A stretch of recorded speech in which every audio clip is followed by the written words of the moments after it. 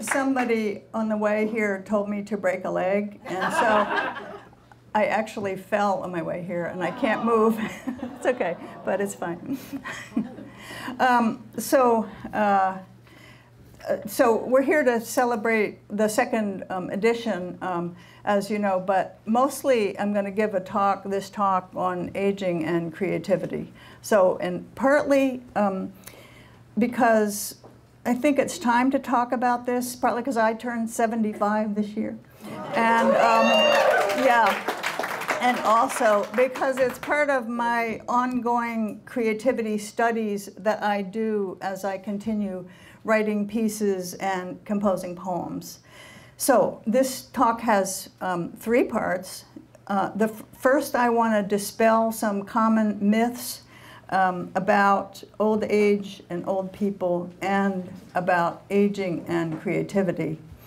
And so then in the middle, we'll stop uh, and have questions and answers, um, room for a few.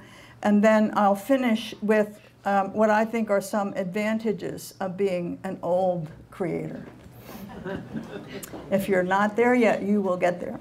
Uh, so you can't get far into the subject of aging without hitting ageism. The far-reaching bias and prejudice against older people that saturates our culture so thoroughly that you often don't even notice it. Why is it that so many people are reluctant to state their age and it's the height of rudeness to ask a person's age? Because it's bad to be old, and the older you get, the worse it is. And this uh, recognizes mainstream American culture. In some other cultures, as we know, elders are honored and respected and have key roles to play. But the thing to know, and I think it's the most important thing I would have to say tonight, is that um, self-inflicted ageism or internalized ageism is a cause of decline. In the past few months, is this is the light low enough so that you can see this? Okay, okay. In the past few months, I've read um, a whole bunch of books on aging, and they all say we should walk more, every one of them. Um, strangely, very few mention doing creative work. Um, but they do say that having a passion or having some work to do that is so absorbing that it takes something like uh, three hours a day increases well-being in old age. And um, that includes, of course, writing, painting, writing poems, and photography, whatever you do. Um, and of course, no matter how old you are, creative work increases well-being. But I'm interested in old artists, old writers, old painters, old photographers, old filmmakers, old poets, old composers. I'm interested in artists who become very productive or remain very productive into very old age, and in old age produce significant and at times transcendent work. And so throughout this presentation, I will be throwing up figures, um, and it's a, it's a random selection. I could have easily picked a different selection because there's so many of them. We could be here till midnight if I, but we're not going to be here. Um, and because for me, they're models of how to grow into old age if one should be so lucky as to get to old age. And also, they also serve to blast the stereotypes out of the water. But even though this is about older creators, it's also the case that creativity and doing creative work is a human birthright that belongs to every person, no matter their age or state of being. So this is Lawrence Ferlinghetti, uh, you know, famous beat poet, founder of City Lights bookstore in San Francisco, um, he wrote the book um, Coney Island of the Mind in 1958, um, and it has sold like a million copies. Um, and he wrote many, many poetry books. He's also a painter. He's 99 years old, and he has a new novel coming out. It's titled Little Boy, and the pub date will be March 24th, 2019, on his 100th birthday. Aww. That's a painting, huh? So, okay, five myths or common ideas about old age which are either questionable or flat out wrong. One, old equals sick and decrepit. Though I'm feeling decrepit. I'm not feeling old though. I'm feeling decrepit though. Um, anyway, so we are biological beings. We get sick, children get sick, young people get sick, middle-aged people get sick, and some of those always die, and, and old people get sick, and we all are going to die.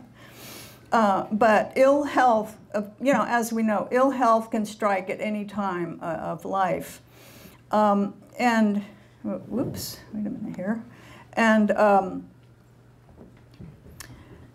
and poor, so physical decline is inevitable and, um, and uh, um, uh, death is inevitable. I guess I said that. Um, poor health is not inevitable. Um, the stereotype of old people as frail and debilitated is a stereotype. One 85 year old may be dealing with an illness or a chronic uh, problem. Another may be running the Boston Marathon. One 85 uh, year old did run the Boston Marathon last year. Um, so, and of course, I know ailments, ailments such as cancer, cardiac, and others are ailments of older age, but they're not a corollary. They're not a natural corollary of old age.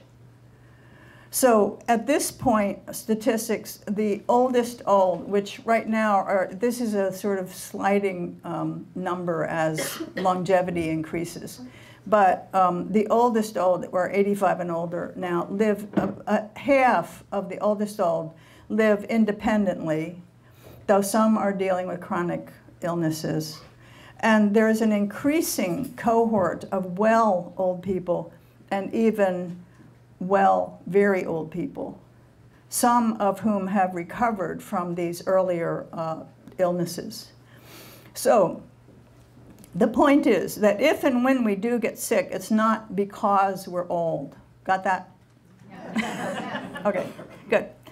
Now, part two of this is that creativity, a life of art making or poem making or novel writing, does not have a one to one relationship with robust health.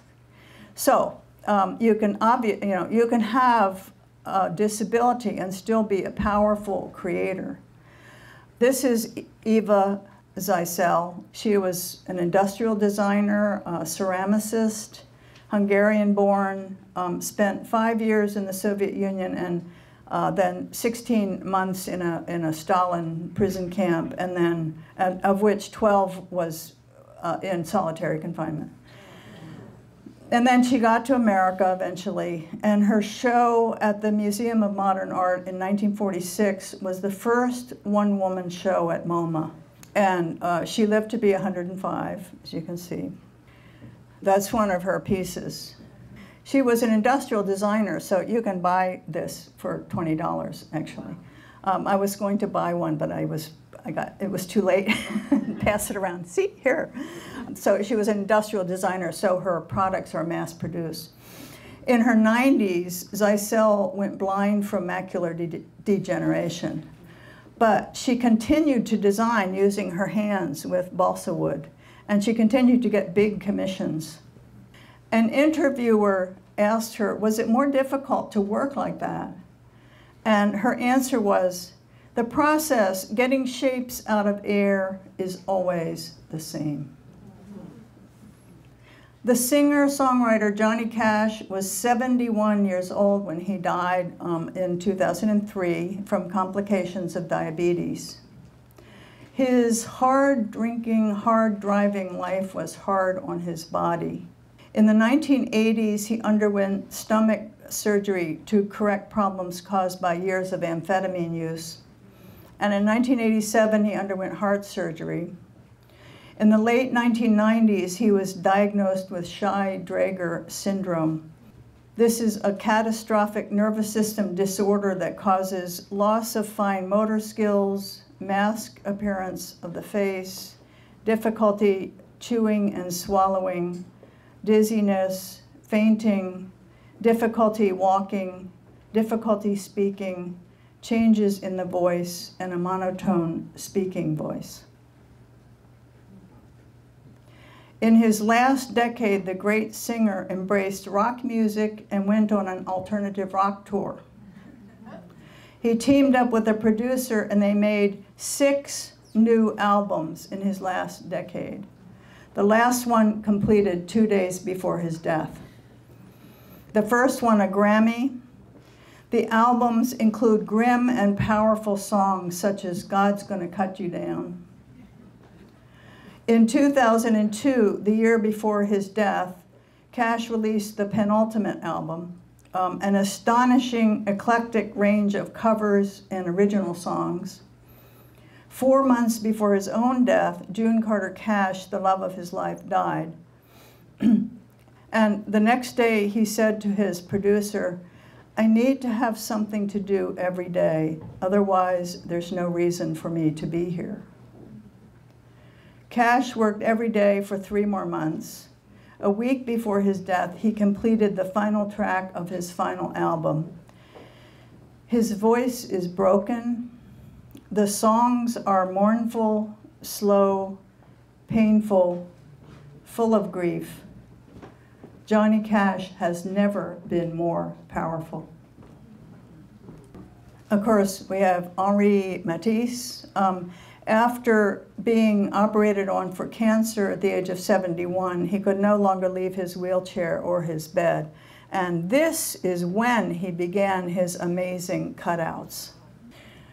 So, being old doesn't mean being sick, and being sick doesn't mean you can't be creative and do creative work. Now we're going to talk about senior moments. And while we're thinking of, we're talking about senior moments, this is Maya Angelou, which we can gaze upon. She published 43 books. That would be seven autobiographies, including I Know Why the Cage Bird Sings, a beautiful book. Oh my gosh. 17 books of poetry, three books of essays, two cookbooks, seven children's books, and seven plays. And in the last year of her life, she composed the last poetry book and her last memoir. So we can look at her while we're talking about senior moments. Okay, when a young person forgets something, we don't attribute it to their age unless they're five years old and they have lost their mittens. but if you're 20 years old and you forget your keys, we don't mention age. But that's not even the main point. The main point is a study by linguists led by Michael Ramscar, um, University of Tübingen in Germany. Um, they programmed a computer to simulate the human brain. And, um, they, and then they load the computer with more and more experiences, information, vocabulary, until they have an approximation of an older brain. And the more loaded up with information the computer is, the slower the computer is at coming up with words and with the names of things. The computer is not in decline. it has a bigger job to do in calling up a name or a word. So the lead scientist, Michael Ramscar, said that when he started, I was a firm believer in the dotage curve. But the simulations mapped cognitive, cognitive processes so, uh, so accurately that it slowly forced him to acknowledge that he didn't need to invoke decline at all. And then there's another thing.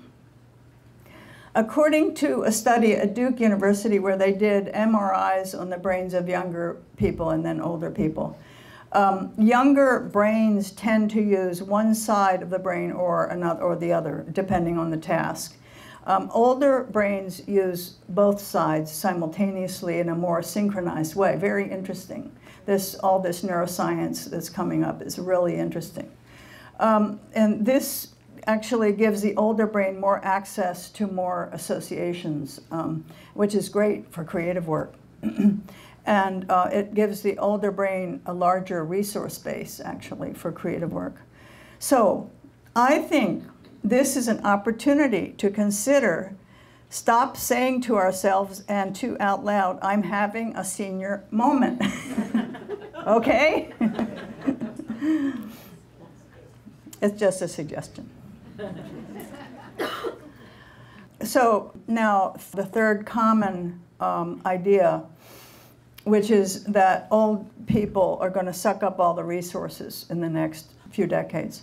So first, I want to point out, um, and you know, it's been pointed out, and I'll point it out again. Social Security insurance. It, Social Security is insurance that you pay for.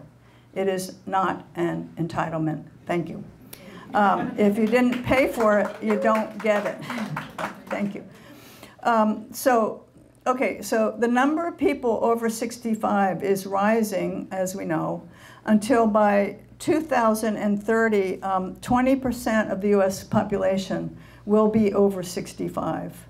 And it's not only the baby boom generation is a bubble, yes, but it's also the um, longevity is increasing. So this is going to keep happening after the baby boom generation.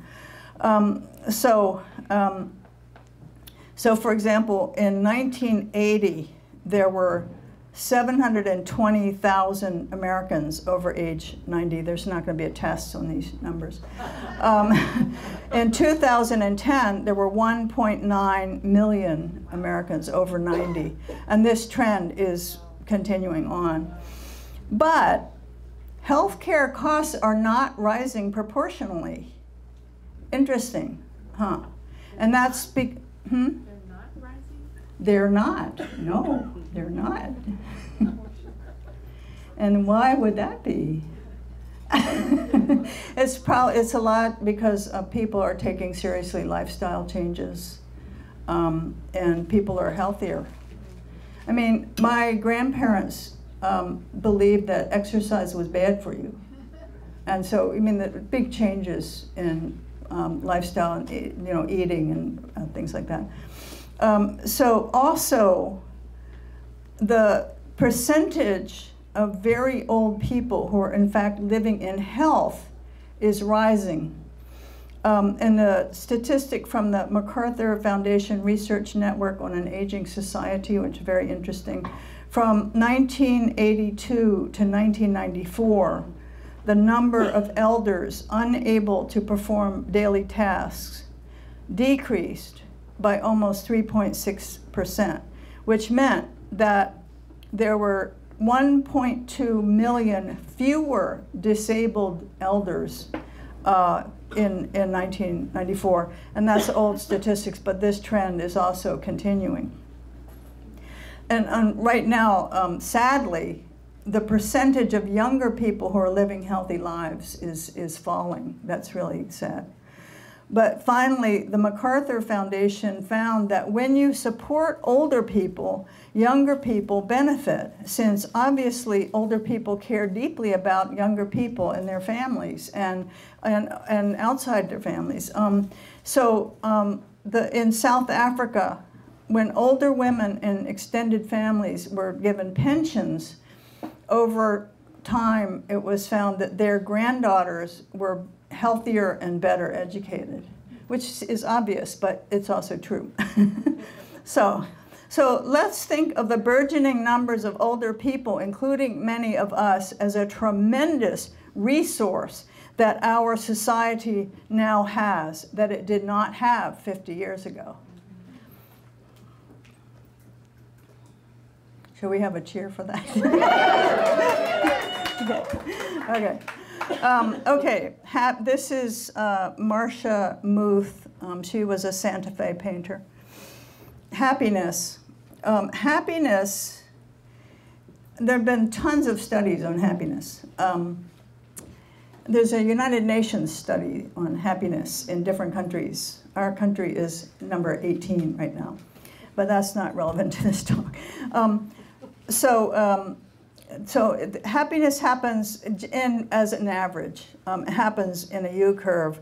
18 to 20 year olds, 21 year olds are happy. Grace, are you happy? yeah, see, I rest my case. Um, Um, that's my first first cousin once removed. Okay, um, and then um, gradually uh, it dips till middle age, around 40 and 50. It's uh, uh, the unhappiest period. I think a lot of stresses. People have a lot of stress, and then it starts climbing again. Does anyone have a guess as to the happiest age? 60. Wrong. 90. Wrong. 67 wrong. 125. 94. 98. Oh, it's true. um, so, Marcia Muth, when she was 88, she said, I find that my 80s have been even more fun than my 70s.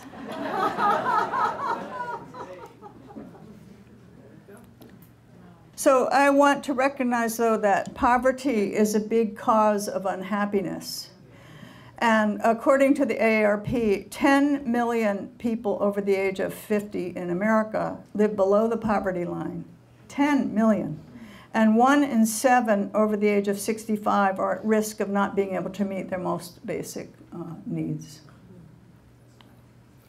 So now, five, now we get to aging and creativity, the topic of our talk.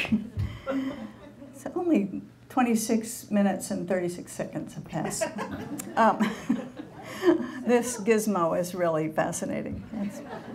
Um, so the whole topic of aging and creativity has a sordid past, if you ask me. And it involves two ideas. One, if you haven't created something pretty significant, pretty darn good by the time you are 40, you never will. Boo. Um, and then, secondly, the idea of peak ages of creativity, which are found to be um, in the late 30s and early 40s. Boo. Um, anyway, these destructive ideas originated with a highly influential book published in 1953, the same year that this Time magazine cover came out. Um, it was published by Princeton University Press. It was H.C. Lehman's Age and Achievement. And it was a study of male achievers, of course, from mathematicians to poets.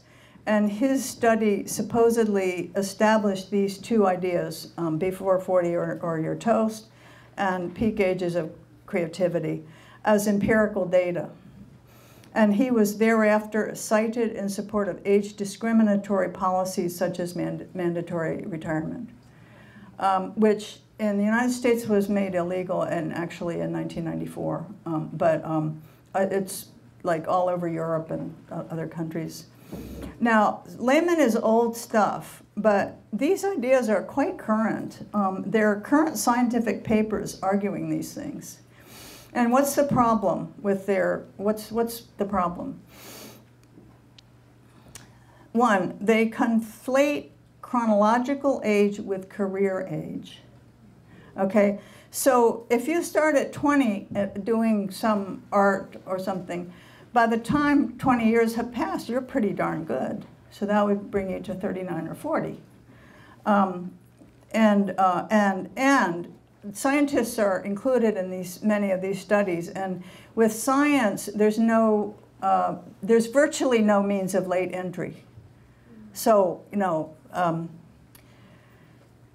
and also their criteria for what they're counting as great art are things like um, how many times a poem has been anthologized, or the paintings that bring the highest price.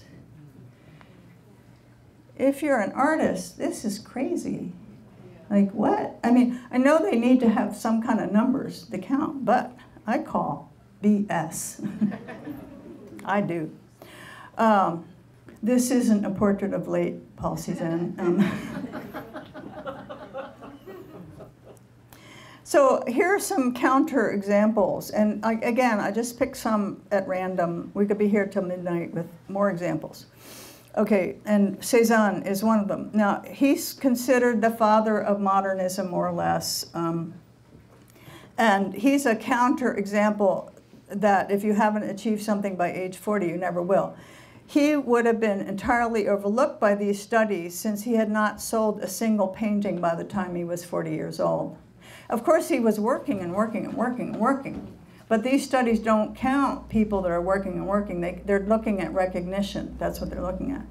So he's a counter example. Um, I have sworn, he said, I have sworn to die painting. And he did. He painted right up to the end. Here's another counterexample. Diana Athill, age 100. Athill was a well-known um, London editor. She edited Jean Rhys and other uh, people. Um, and she published her own first book of short stories at age uh, 45.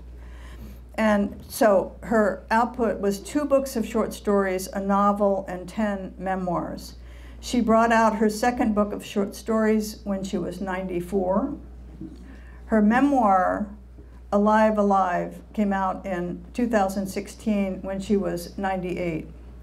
So Athill counters the 40, year 40 deadline for doing something significant, and she also counters the peak ages of creativity idea.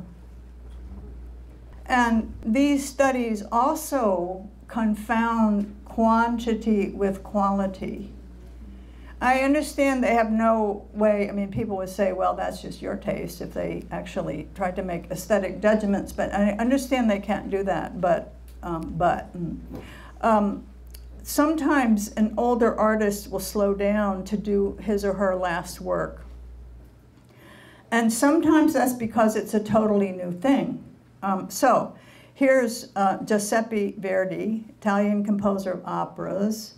By the time, and he fits in with peak ages idea because by the time he was 50, he had composed two dozen operas, including Rigoletto and La Traviata. Then there, all of his operas were uh, tragedies, and um, he was the most important Italian composer of his time. At the age of 74, he composed what was considered his crowning achievement, which was Otello. And people thought, well, that's it, great, brilliant, well done, perfect, no, congratulations. Then he took a rather long time to compose Falstaff, which was a comedy, is a comedy. He took longer because he was feeling his way. It was totally new for him, it, though it incorporated elements of his um, um, of his types of melodies that he did, that he was known for, but then they would be interrupted by the action. So it became weirdly fragmented. Um, so there's this whole conversation, which we can't get into tonight, about late style, but um, that's an interesting example of late style. Um, and the painter Claude Monet is another, but we can't go into it tonight, uh, another example of uh, major, very late work. Um, so. Now here we are at Anna Mary Robertson Moses, the painter that used to be called Grandma. and I put a, we hung a picture of her of, over there too. That was 1953. She started painting when she was 76. She had raised five children, um, and as she said, I just didn't have time to paint before. And me being, do we all know this painter? Yeah, okay. Um, me being kind of an intellectual snob, I kind of used to turn up my nose at her art, especially since she sold, for example, 16 million Hallmark cards in 1947 alone. so, like, um, but Peter Schjeldahl, the New Yorker critic, who has the best eye, he's a wonderful art critic, has set me straight about Moses. Moses belongs smack inside the canon of 20th century art, and then he uh, talks about her paintings um, and made me see. Uh, and I agree with uh, Schjeldahl that we should stop calling Anna Mary Robertson Moses grandma. It's condescending, like calling a person you don't know sweetie. If you call a person you love dearly sweetie because they're your sweetie, that's one thing. But to call an unknown person sweetie is condescending.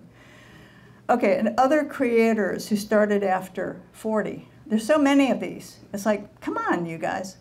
Uh, uh, Daniel Defoe uh, died age 71, same year, same age as Johnny Cash. He published his first novel, Robinson Crusoe, when he was 59. Marcel Proust died at age 51, very young. He was writing, of course, but if you're writing but not publishing, you're not going to be included in these statistics. So creating isn't what they're measuring. They're measuring uh, recognition. That's what they're measuring. Um, so um, he published the first volume, Proust published the first volume of In Search of Lost Time when he was 43. Raymond Chandler, The Big Sleep, that great detective novel, takes place in LA. Um, this was his first novel. He was age 44. Annie Proulx, she's now 83. She published her first collection of short stories when she was 53, her first novel, Postcards, when she was 57. And um, let's see, for Postcards, she got the PEN/Faulkner. And her second novel, The Shipping News, won the Pulitzer and the National Book Award, and her output is, and she's still working very actively.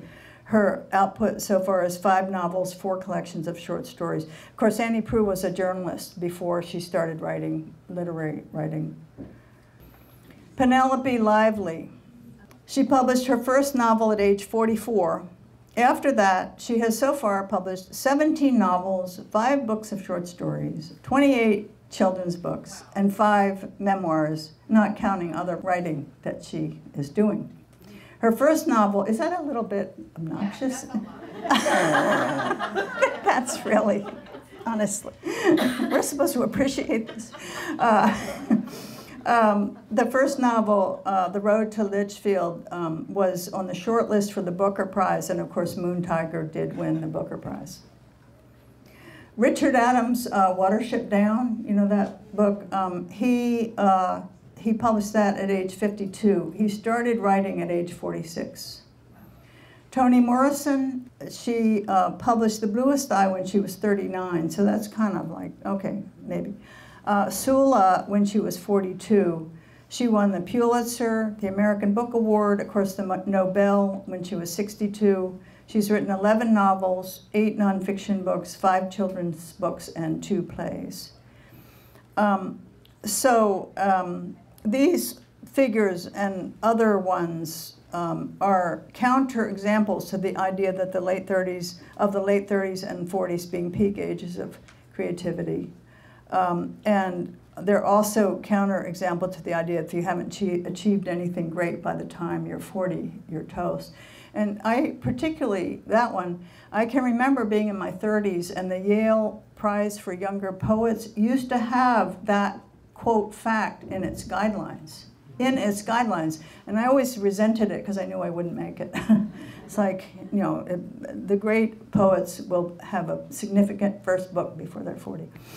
Um, so, so it's destructive, I think. Um, and others, and scientists, other scientists, other social scientists also argue this. For example, so I mean, this, these ideas also have a lot of people arguing against them. Um, so um, uh, the sociologist Dean Keith Simonton discusses the pervasive and overblown misconception that older creators are over the hill. And he criticizes the use of Lehman's work in, in formulating age discriminatory policies. So, um, so um, okay. So that's, now, now we're going to have questions. If you have a few questions, so we'll have our question period now. And then um, I'm going to try to stand up. I mean, I don't know if I can, but I'm going to try to stand up when we have questions. And then I'll end with what I think are the advantages of being an old or older uh, creator. Okay, so, yes? So when did, how old was Verdi when he wrote the famous Requiem? I have no idea. Andrea, is Andrea here? Oh, I have no idea. But, but Verdi wrote a lot of, of his music. I mean, in middle age, he did write a lot of his music, yeah, and on into his older age, yeah, but I don't know. Any other questions that I don't know the answer to? yes. Would you account for depression at an older age? I mean, after all, the decay of your body, you have to face it. And there are a number of other circumstances Right, that play a role. right, And so, in a way, you're also signing out from a whole number of things. You're losing people around you. Yeah. The older you get, the more your circle gets narrow. Mm-hmm. So there, there are a lot of reasons there for uh, a, a real alteration in your life and reason for depression. So I'm wondering the people you have given, you know, have they struggled with depression? Have you encountered a subject in your research? Um, yeah, I think see, I think that um, yeah, sure. Like Monet had terrible problems toward the end of it. I mean, exactly for these reasons. He was losing people. He lost his son. Um, he lost his wife. You know, I mean, and he was going. He had eye trouble, and he was a painter. Um, and so, um, yeah, I also, yes, I mean, depression can be a problem. You have to, I mean, I feel like I don't want to speak for others on this subject, but I feel that um, in growing older, you are losing people the older you get. I mean, if you're 98, you've lost everyone that you grew up with or knew you when you were younger, pretty much, you know. And so I think that um, actually creative work, doing a, you know, a creative, uh, having a creative work that you're doing is a tremendous um, ameliorative uh, thing to do because yes, it's very common and and isolation. People talk about isolation. Well, if you're involved, like in our writers writers community, we have a great community. If you're involved in a creative, you know, music or uh, or composing or or ceramics or whatever or painting or writing you have a community and that is that's a cross generation community. And it also helps i mean the the more um, interrelationships there are between um, between um, older people and younger people the more healthy that is um, because there's a lot of good cross fertilization yeah yeah yeah. Any other yes So, your comment about as we age, we Mm-hmm. use more balance, both sides of the left and the right side of the brain. Mm-hmm. I haven't heard that before, and I find it fascinating. I guess that's the definition of maturity. And uh, that, but is that research recent, or is did i make it up you mean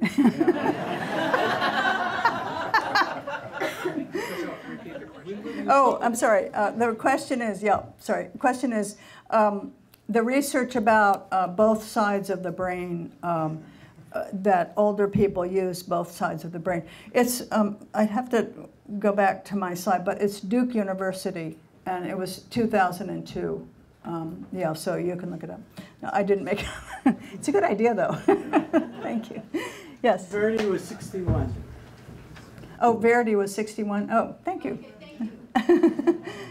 Any other questions? Yes. I wonder if you have ever heard this, I heard it many years ago, that uh, people who are artistic have more of a tendency to be depressed, People who are who are creative Oh. artistic. uh, artistic, okay. Um, there's a huge literature on that. Um, it's not exactly, I mean, you know, from my, I mean, I wrote something on it, but it was quite a while ago, so maybe this is through the hole in my hat. Um, it's, it is true that um, there's something about people who are very creative, um, they might have more relatives who are in the autism spectrum or um, in um, or schizophrenic or you know uh, have mental illness problems.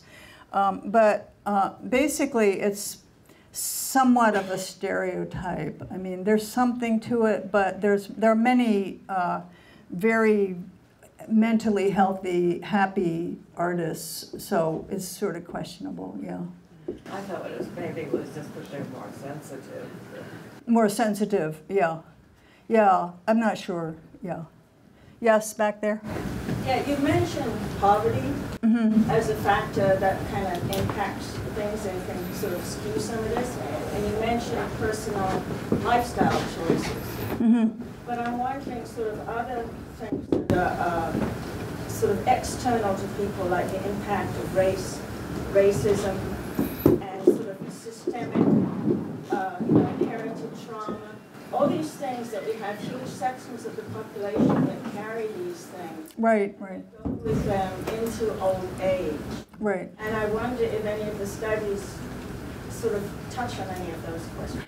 Um, so the question is, um, there are all these, um, there's poverty, there are traumatic experiences, there's racism that impacts people when they're younger, and do, how does it affect people going into old age? Well, um, of course it does. Um, although, I, again, doing creative work is tremendously healing.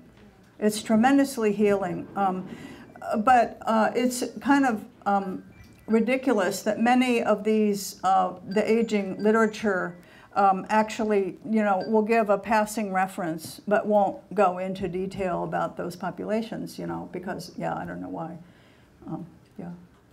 Any other, yes, way back there? Priscilla, do you find that your uh, methods of working, your uh, the way you go about creating, have changed in you know as decades move? Like, do you stay up until three in the morning? Not as much. I never stay up till three in the morning, let me tell you. um, no, uh, I, I'm going to end the talk with how I feel, uh, so I'll save it for the end of the talk, where how I feel um, age has helped me as a creator. Yeah, so maybe wait on that. Um, so, yes. Uh, I, I have a question, another, I, I hope myth, that if you are a great artist, you can't do anything else. You have to, if you're a writer, you have to write. If you're a painter, you have to paint. The, the examples you showed kind of belie that.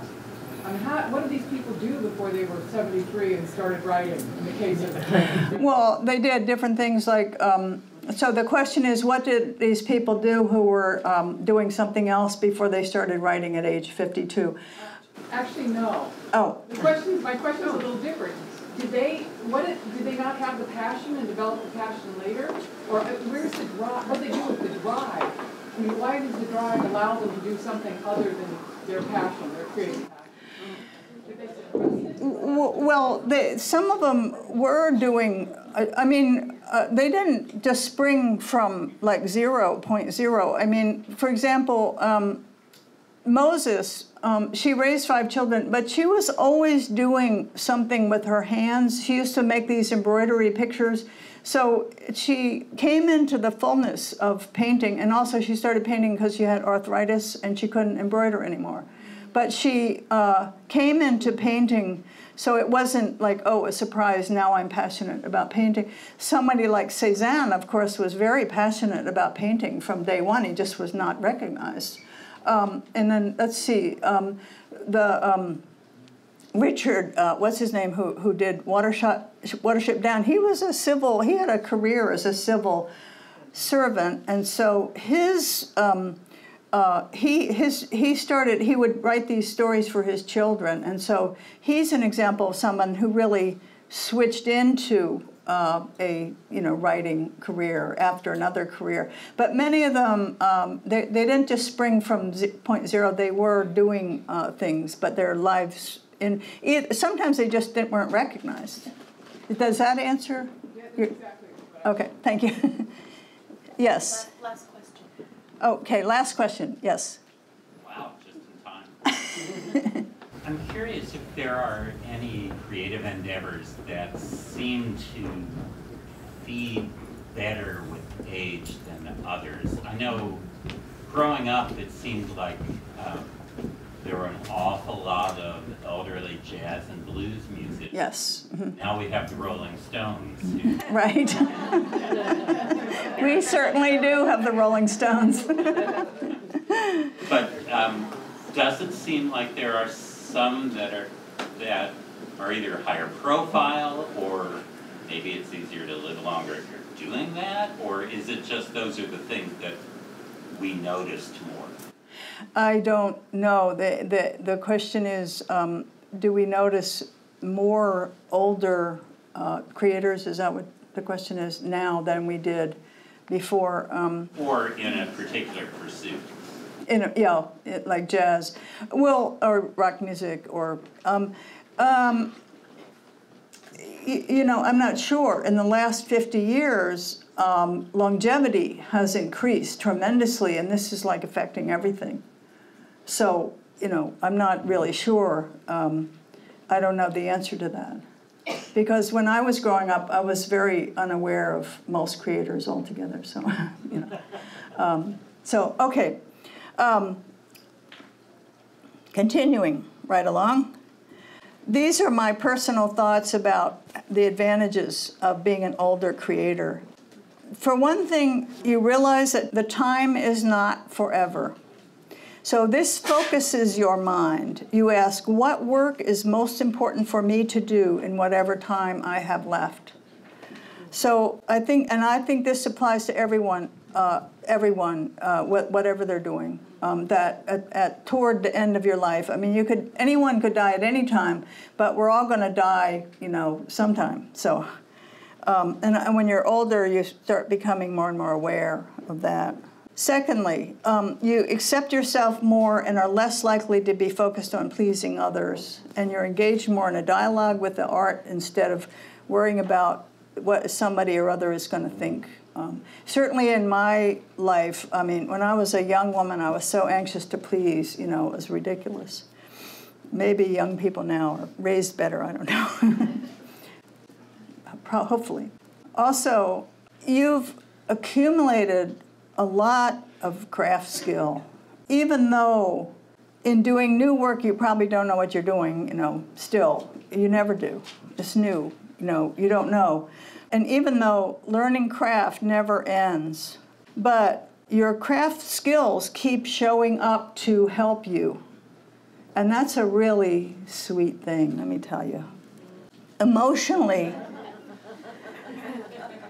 what? Oh. Okay.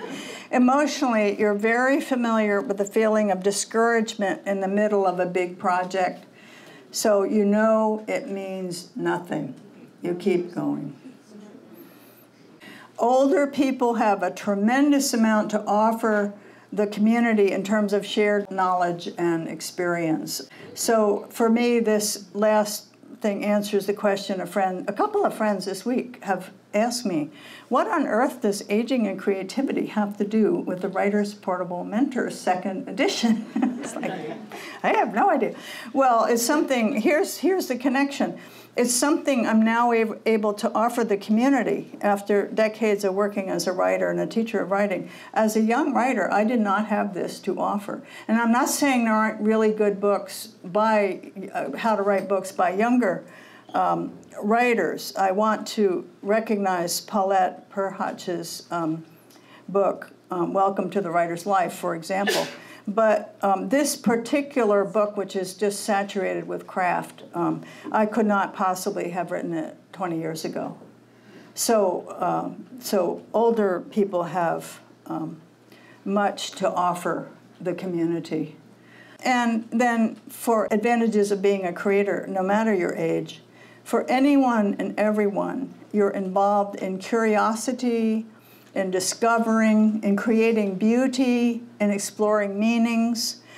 Um, of writing in particular, um, Jhumpa Lahiri said, Writing is a way to salvage life, to give it form and meaning. It exposes what we have hidden, unearths what we have neglected, misremembered, denied. It is a method of capturing, of pinning down, but it is also a form of truth, of liberation. And I'm going to end with some uh, words of wisdom from some aged, aged, aged creators. Okay, Stanley Kunitz, poet. He became the 10th poet laureate of the United States at age 95 in 2000. And that year he got the National Book Award for his collected. And he said, when you look back on a lifetime and think what has been given to the world by your presence, your fugitive presence, inevitably you think of your art, whatever it may be, as the gift you have made to the world in acknowledgement of the gift you have been given, which is life itself. That work is not an expression of the desire for praise or recognition or prizes, but the deepest manifestation of your gratitude for the gift of life. Eminent visual artist Joan Semmel says, In the work itself, you know who you are as an artist. You're not struggling with finding your voice and doubting everything you do in quite the same way as when you're younger. It's all part of self acceptance. Wayne Thiebaud, eminent visual artist. The wonderful thing about painting as a human invention over a 30,000 year period, it has been able to anthologize a kind of sum of human consciousness, all of our sides, the most majestic, wonderful spiritual ideas, all the way down to the brute level of terror and horrendous inhumanity to man. And you can certainly paint anything you want. The only problem is it has to be good. Damn. Um, he also says, what keeps you going is the thrill of experiment and expectation. Kay WalkingStick, eminent visual artist. Art making is a visual history of our experience on Earth, and this is a fuller way to talk about our lives here, our humanity, our existence, our planet. She also said, when in doubt, make a red painting. I like that. Okay. Uh, and this is the last one. Faith Ringgold, um, also very eminent uh, visual artist. Being an artist is a way of life. It's something one has a passion for, does, and then becomes, and can do it literally until they pass away. It's an old age thing. You become better with age. Thank you.